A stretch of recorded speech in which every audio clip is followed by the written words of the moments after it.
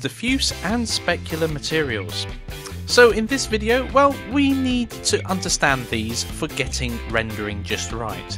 We'll be looking at the two in isolation and seeing what they do, and combining them to see the overall effect. And just a reminder that we are still using Blender Render. So, diffuse versus specular reflections. Well, both are types of reflection, and diffuse is essentially when light scatters as it hits the surface, and specular is a direct reflection of the light onto the viewer. Materials in the real world are often a mix of the two. So, a bit of physics for you all. The law of reflection. So we've got the blue arrow on the left, and that's the light coming in, the angle of incidence of that light beam coming in. This is just a, a tiny photon hitting this surface, equals the angle of reflection, that's the light coming out So that's the basic law of reflection, and let's look at that in a bit more detail. So specular reflection looks kind of like this. So a highly specular surface, almost 100% in this case, uh, if I've got my angles and everything right, the light beam comes in and comes out in exactly the same way it came in. And that would produce uh, what you'd see um, like on a, in a mirror or on a lake, a still lake reflecting uh, mountains in the background. How picturesque. So that would be a, a almost 100% spe specular reflection where you get a direct reflection of whatever is coming in. Diffuse reflection, however, is slightly different. Because the real world is not all lovely, flat, and smooth, we end up with a lot of diffuse reflection. As you can see here, the light coming in and going out is all over the place, so you don't get direct reflection. Just like when you look at your wall right now, it's probably painted in a matte or a satin paint rather than a highly glossy paint, which is more specular, and then of course you may have mirrored walls. So, let's hop over into Blender and see how these act when using Blender Render. Right, so I've opened up a new Blender file. I suggest you save the work that you're working on. Now, the reason why I've opened up a new one is because we're going to be playing about and experimenting, and we don't want to do that in the chess scene that we're working with at the moment. So the first thing that I'm going to do is get rid of our cube that's here, because it's not going to show off uh, the diffuse versus specular very well.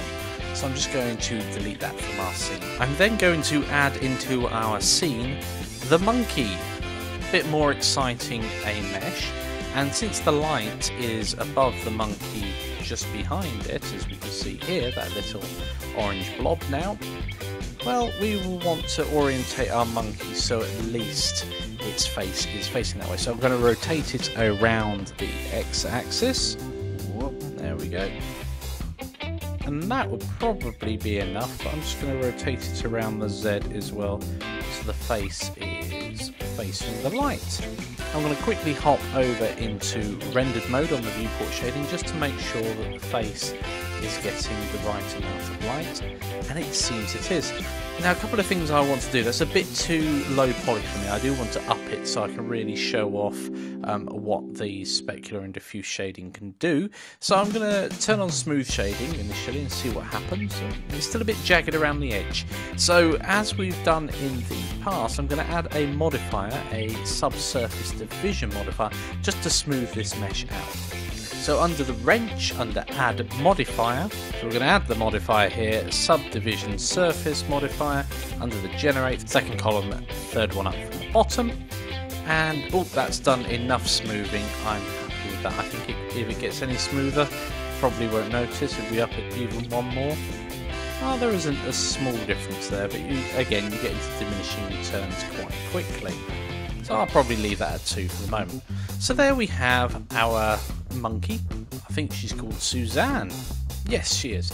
Excellent. So we need to apply the material to that monkey there. So I'm going to create a new material and just call it test. So there we go. And this material let's scroll down a little and have a look at the options. So we have diffuse and specular. We're going to be focused on these two here. Um, shading, transparency, mirror, subsurface scattering, strand, options, etc, etc. Um, we can go into those at a later time, but not now. We really want to focus on just these two here because they're going to make up most of what you're going to be doing. So I'm just going to hide all of that lot there. Okay, so the intensity on both of these simply turns up their values. So if they're both down at zero, you've probably guessed it, that the image is completely dark and it's not reflecting any light at all. In this case, it's absorbing all the possible light.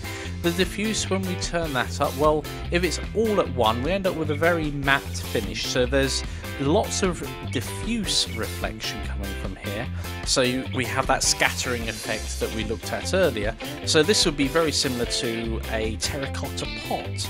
So if we change this to sort of uh, maybe that sort of colour, uh, there you go. Oh, that's a bit too pink now. Very close. I was the second click. Uh, there, I'm not going to faff, about with this.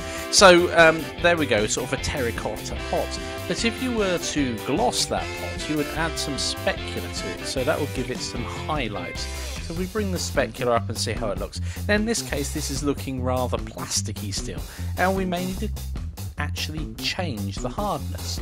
So if we lower that down, you'll find that the highlights get more and more spread out. And if we make it really, really, really hard, it goes up to 511, we end up with these very fine, wispy-like highlights. So that changes the apparent hardness or sharpness of those reflections. You can play about with those to your heart's content. Ramp, well that changes the way that the colour is brought into the scene. And as we can see here it enables a lot more options. And we're not going to go into those at the moment either. Just need to know about these two items here. Now these two here the Lambert and CookTorr they're the shader types. So you've got five options of diffuse shader and five options of specular shader. Now these change how the diffuse and specular shading is worked out. And it does vary quite dramatically between all of these. Um, Fresnel, if I'm pronouncing that correctly, as you can see here, has changed it very, very dramatically. And these are quite sensitive. Let's turn it up maybe to 1.2, maybe that down to 2. So you get a very sort of chrome-like effect going on with the Fresnel shader going on there. The CookTorr on here, well, if we change it, we see we get much sharper. I'm just going to change these now. You get a completely different feel and look to your model depending on which shader option you go for. Some of them will be very, very similar. So I quite like in this one the Warzido or, or WardIso. I can't. oh, here we go. It's uh, use a ward anisotropic shader. So there's lots of options there, and you can change these about to your heart's content and get the actual end result that you want. That's gone incredibly plasticky at this point, but there we go. We can see that the Naya one in, uh, gives this new option down here, roughness. So that will increase, I presume, the apparent roughness of the material, making it slightly darker by the looks of things. Now this is quite a smooth material, so I don't know whether um, we'd get a decent result playing about with it anymore. Now, if we look behind the area where we don't get any lights at the moment, now this is again one of the things to remember with Blender Render, um, you won't get any bounce off of other objects, but you can fake some of that. I know we said we're not going to dip into the shading or anything lower, but one of the things that you can do is just make the material itself slightly emissive, as if it's giving off light. And of course it would give off light if there was something hitting the back. So if you turn up the emit value ever so slightly, all of a sudden the back is not completely dark. One or two is absolutely fine and that just gives it a bit more detail in the background. There are other options down here, feel free to play with them. One of my favourites is Mirror, turning the reflectivity all the way up. Of course, that's reflecting. What's it reflecting? Absolutely nothing, it's reflecting the environment around it. Um, but obviously, you can play with that to your heart's content. Perhaps pop something in an environment and turn the reflectivity up. Okay, so to just finalise here, I've done the monkey Suzanne uh, using all five different diffuse shaders. So over here in the outline, I'm just going to turn them on one at a time. So this is the, as I've said before, it's Fresnel. It's not the S is actually silent, so I presume it's Fresnel. Um, this is what it would look like. Uh, turn Lambert on, we can see that that is ever so slightly different as well. Uh, the Minnaert is down here. Let's turn on the Oren. That's up there. And then finally the Toon shader.